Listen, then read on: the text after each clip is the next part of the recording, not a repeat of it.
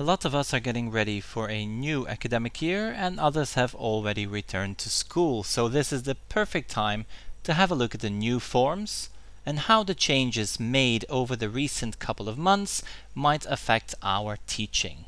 This is another flipped classroom tutorial. First of all, how do we create a new form? Well, there are two main ways of doing this. First of all, you can surf to forms.google.com and then click on the plus icon. Now, the reason, the main reason for doing this is so that you also have access to the many different templates already available within Google Forms. I tend to use the Google Drive and I click on New, More and Google Forms. Now, Let's start creating our very first form. Let's start by giving it a title. Now this form will be about the computer science subject and I will be asking the children and students in class some of their ideas about the upcoming school year and what they would like to learn. So my title will be Computer Science. Now this will also become my file name so you will see it automatically transfers the file name as a title and you will see that I already have a banner at the top. Now this banner is now a darkish blue color, but we can change this color. We can have a red banner or any color we'd like. And we can even use an image. So let's go ahead and click on this image. Now we are already presented with lots of different themes that we could use and this is a huge time saver.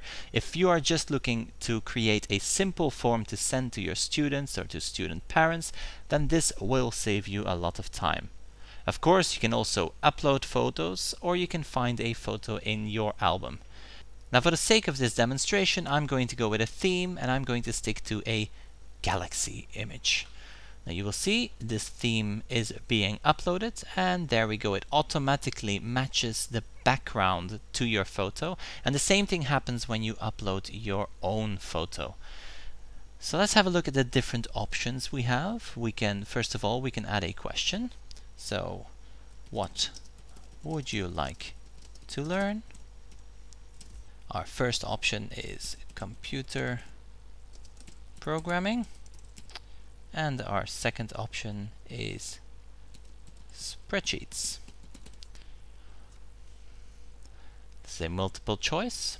Now let's have a look at some of the other options and other types of questions. Now we can click on this little plus symbol to add a question and immediately we have a choice between all these different types of questions. So we have a short answer, paragraph, multiple choice, checkboxes, drop down, a linear scale, and a multiple choice grid. Now we'll have a look at those in a minute. We also have date and time. Now I'm going to go to short answer. I'm going to say, what is your class name? Now obviously I want to keep this form, let's say, anonymous, so I'm going to ask for a short answer text going to make this required because I do want to know which class wants to learn what. And then the next will be a paragraph. How do you feel about computer science as a subject? And again, this is simply as a demonstration.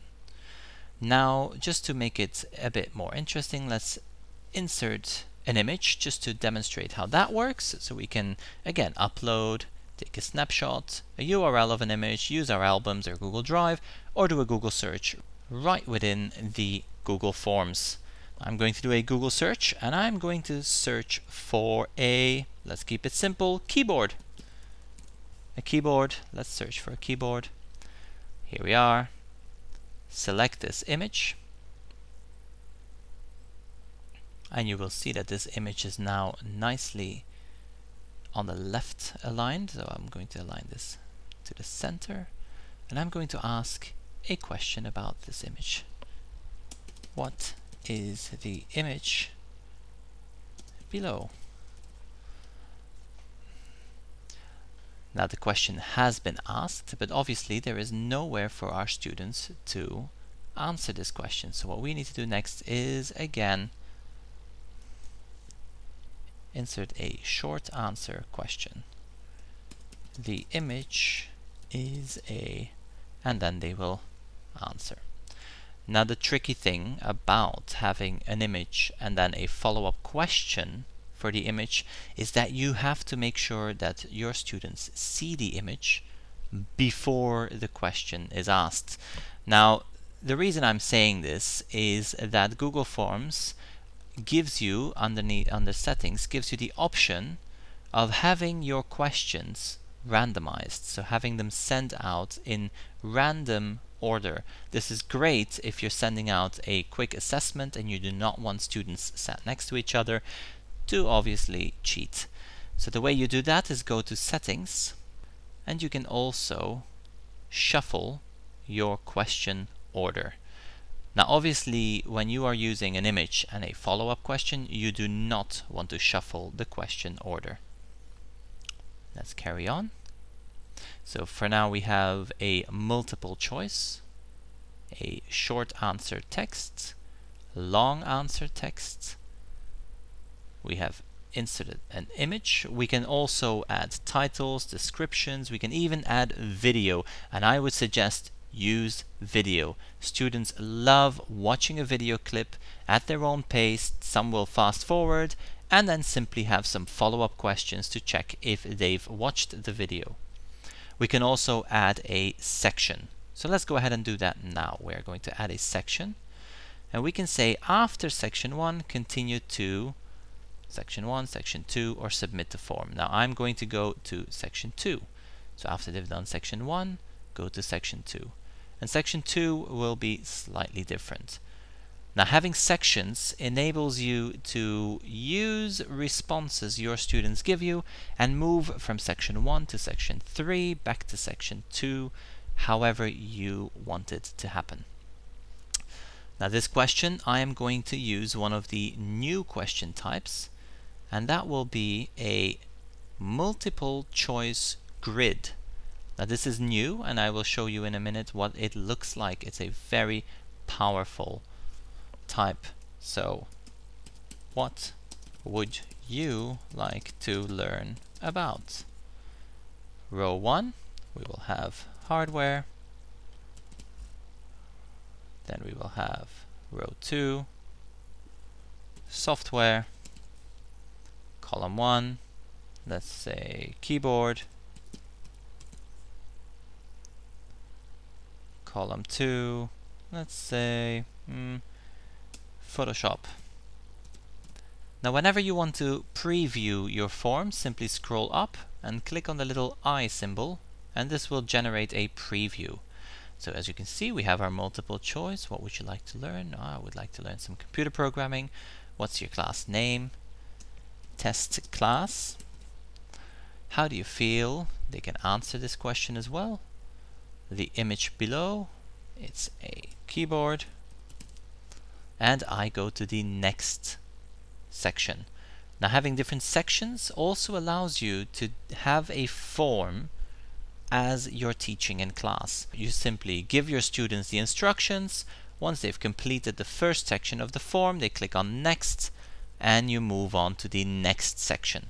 So what would you like to learn about? Hardware, software, keyboard, Photoshop. So I would like to learn about some hardware keyboards and then software Photoshop. Now this is a good way of getting information from your students or simply having a quick check to see if they hardware links up with keyboard, software links up with Photoshop. Again, you can use this for many, many different things. After they've clicked submit, they are presented with your response has been recorded, submit another response. And again, this can be tweaked to fit your needs. So let's go back to our form and let's do that right now. Let's go to our settings and we are going to limit it to one response, which means that they will have to sign into Google. And respondents can edit after, no, they cannot, but they can see a summary of responses. That would be nice. And then here we are going to change the confirmation message to thank you. Save. And right now our form will look already will look slightly different. As you can see, some questions are required. So I'm going to say test class And then when I go to next and I submit this final page, you will see thank you, see previous responses. So now they can no longer submit a new response. Another option is to go to settings and go to quizzes.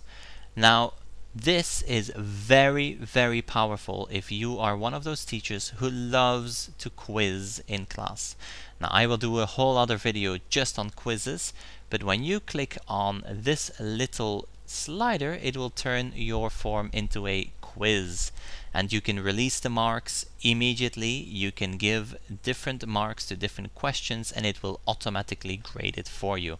But more about that in a different video. So let's save our form for now. And there are now various options for us to send this to our students we can simply click on send and we can choose to send it via email we can get a link and then we share this link.